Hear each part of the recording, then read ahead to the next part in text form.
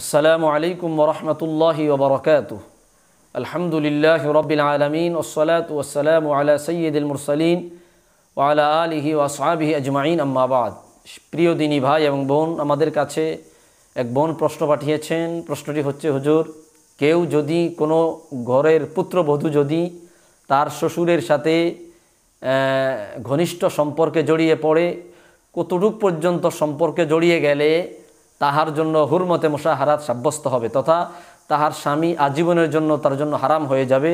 এ বিষয়টি আমাদেরকে একটু জানাবেন। মানে এক বোন জানতে চেয়েছেন, সম্ভবত ওনার আশেপাশে বা উনি বা বিষয়টি স্পষ্ট করেনি। শ্বশুরের সাথে সম্পর্কে জড়িয়ে গেছে, আপন শ্বশুরের সাথে। এই ক্ষেত্রে হুরমতে মশাহারাত সাব্যস্ত হবে কি না? বিষয়টি আমি আপনাদের সামনে স্পষ্ট করে দিচ্ছি। কোনো জামাই বা জামাই যদি তার শাশুড়ির সাথে এবং কোনো স্ত্রী বা বউ যদি শ্বশুরের সাথে সম্পর্কে জড়িয়ে যায়, কতটুক পর্যন্ত সম্পর্কে জড়িয়ে গেলে হুরমাতে মোশাহারাত সাব্যস্ত হবে?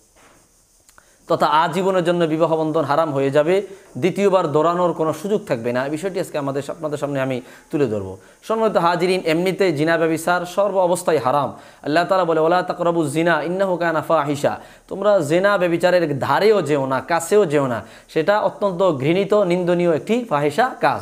তাহলে এই ব্যাপারে অসংখ্য হাদিস এবং কোরআনে কেরিমের আয়াত বিদ্যমান রয়েছে। তবুও নির্দিষ্ট কয়েক পেশার সাথে, যেমন যাদের সাথে বিবাহ বন্ধনে আবদ্ধ হওয়া হারাম, তাদের সাথে যদি আমরা ব্যবিচারে লিপ্ত হই, তার পরিমাণটা, পরিণামটা কিন্তু অত্যন্ত খারাপ। তদ্রূপ কোনো জামাই যদি তার শাশুড়ির সাথে ব্যবিচারে লিপ্ত হয়, অথবা বউ যদি তার শ্বশুরের সাথে ব্যবিচারে লিপ্ত হয়, এই ক্ষেত্রে হুরমতে মশাহারাত সাব্যস্ত হয়ে যাবে। তবে কতটুক পর্যন্ত গেলেই হুরমতে মশাহার সাব্যস্ত হবে?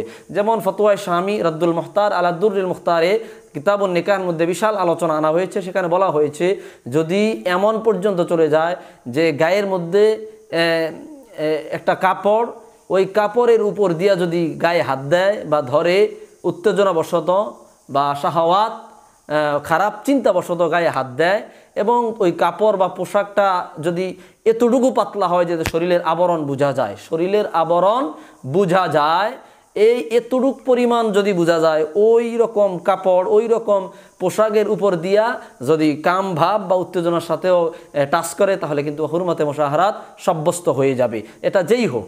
এটা স্ত্রী স্বামী শ্বশুরের সাথে হোক বা জামাই শাশুড়ির সাথে হোক, তাহলে হুরমতে মশাহারাত সাব্যস্ত হয়ে যাবে। তাহলে মূলত আমরা কথাটা কি বুঝাইছি?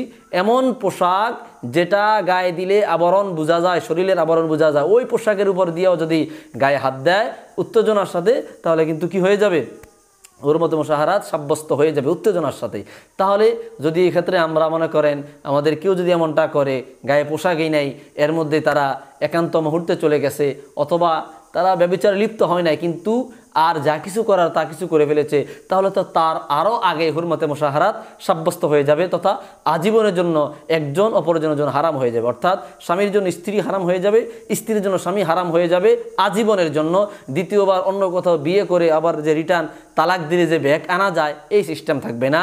তাহলে এই বিষয়টি আমি আপনাদের সামনে অবশ্যই আশা করি বোঝাতে সক্ষম হয়েছি। তাহলে হুরমতে মশাহারাত সাব্যস্ত হওয়ার জন্য আপনার ডাইরেক্ট ব্যবিচার লিপ্ত হওয়া একেবারে জেনার কাছাকাছি যাওয়াটাও সত্য নয়। সুতরাং কামভাবের সাথে, উত্তেজনার সাথে আপনি যদি তার গায়ের উপর দিয়ে হাত দেন একজন আরেকজনের কাছাকাছি যান বা আরও অন্যান্য কাজগুলো যদি আপনারা করেন, তাহলে কিন্তু হুরমতে মশাহারাত সাব্যস্ত হয়ে যাবে।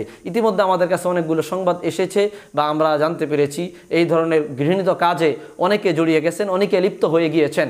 আমি অনুরোধ করব ভাই, আপনাদের জন্য বিবি হারাম হয়ে গিয়েছে অথবা বিবিদেরকে বলব, আপনাদের স্বামী হারাম হয়ে গিয়েছে। অনেক ঘরে দেখা যায় এই শ্বশুর থাকে খুব ইয়াং, দেখতে খুব রুষ্টপুষ্ট দেখা যায়। এ আপনার স্ত্রীরা শ্বশুর, স্বামী না থাকায় আপন শ্বশুরের সাথে ব্যবিচারে লিপ্ত হয়ে যায়। আবার অনেক ক্ষেত্রে দেখা যায়, জামাই ঘর জামাই থাকে। ঘর জামাই থাকাতে স্ত্রীর সাথে আপনার শাশুড়ির সাথে অনৈতিক সম্পর্কে জড়িয়ে যায়। আমি এই কথাটা বলতে বাধ্য হয়েছি, যেহেতু বিষয়গুলো সচরাচর আমাদের আলেমলামারা আলোচনা করে না, কিন্তু আলোচনা করাটা অত্যন্ত জরুরি হয়ে পড়েছে। আপনারা আপনাদের মধ্যে যদি কেউ এমনটা করে থাকেন, আপনাদের স্ত্রী আজীবনের জন্য হারাম হয়ে গেছে, হুরমতে মশাহারাত সাব্যস্ত হয়ে গেছে, আপনি এই মুহূর্তে স্ত্রীকে আপনি ছেড়ে দিতে হবে। দ্বিতীয়বার তালাক দেওয়ার পরেও অন্য কোথাও বিয়ে হয়ে তারপর আপনি যে রিটার্ন আবার সেই তালাক দিলে ব্যাক আনবেন এই সুযোগ আপনার এই ক্ষেত্রে থাকবে না। আল্লাহ তালা আমাদের সকলকে সহি বুঝদান করুক। আপনারা যারা বিষয়টি জানার জন্য আগ্রহী, আপনারা ফতোয়া স্বামী রদ্দুল মুখতারের আলাদুরুল মুখতার কিতাব নিকা বিবাহ অধ্যায়ের মধ্যে এই বিষয়টি বিশাল আলোচনা করা হয়েছে, আপনারা ইনশাআল্লাহ বাকি আলোচনাগুলো দেখে নেবেন। আল্লাহ তালা আমাদের সকলকে এই ঘৃণিত কাজ থেকে হেফাজত করুক, আমিন। আসসালামু আলাইকুম রহমতুল্লাহি